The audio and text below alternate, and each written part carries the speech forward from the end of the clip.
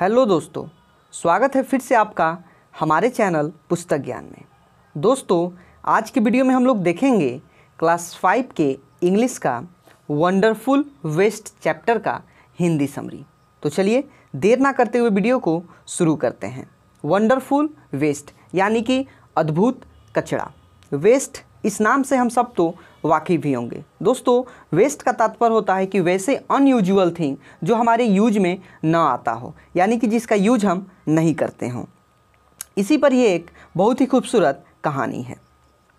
एक बार ट्रावनकोर के महाराज ने अपने राजमहल में एक भोज का आयोजन किया। जब दोपहर का समय होता है डिनर से कुछ समय पहले राजा सोचते हैं कि क्यों ना हम थोड़ा सा रसोई घर में जाते हैं और वहाँ का मुआयना करते हैं कि भोज की जो तैयारी है, वो कहाँ तक पहुँची है या कैसी तैयारी है।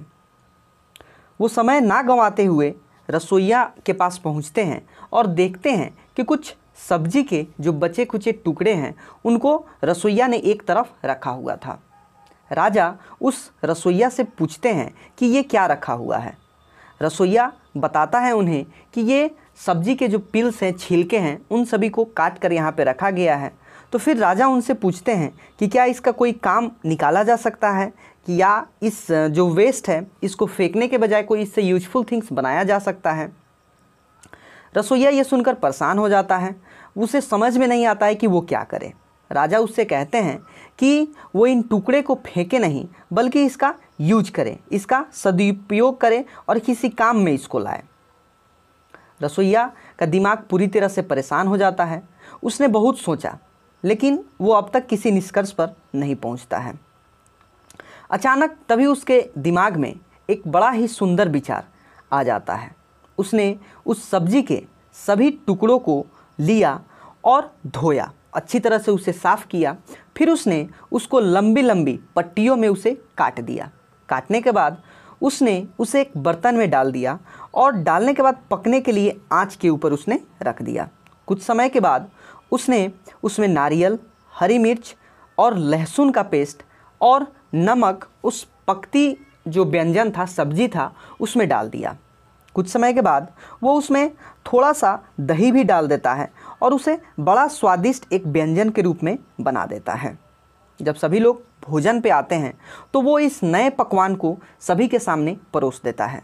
जब सब कोई इस पकवान को खाते हैं, उन्हें ये पकवान बड़ा ही पसंद आता है। सभी लोग जानना चाहते हैं कि इस पकवान का नाम क्या है। तब रसोईया के दिमाग में, चूँकि उसने ही इस पकवान को बनाया था और अभी तक उसने इसका नाम नहीं सोचा था जैसे ही सब लोग पूछते हैं कि वो इस पकवान का नाम बता, इस ये ये जो पकवान है, इसका नाम क्या है? तो वो इस पकवान का नाम बताता है एवियल। वो कहता है कि इस पकवान का नाम एवियल है।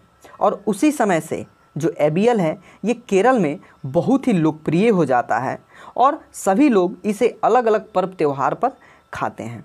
यानी कि ये जो एक्चुअल में जो एवियल है, ये एक वेस्ट से इसका निर्माण हुआ था और आज ये बड़ा ही एक पॉपुलर डिश के रूप में केरल में प्रसिद्ध हो गया है।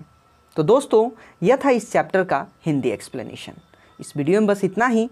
मिलेंगे अगले वीडियो में। तब तक हमारे चैनल पर बने रहिए और हमारे वीडियो को देखते रहिए। तब तक के लिए दोस्तों, धन्यवाद।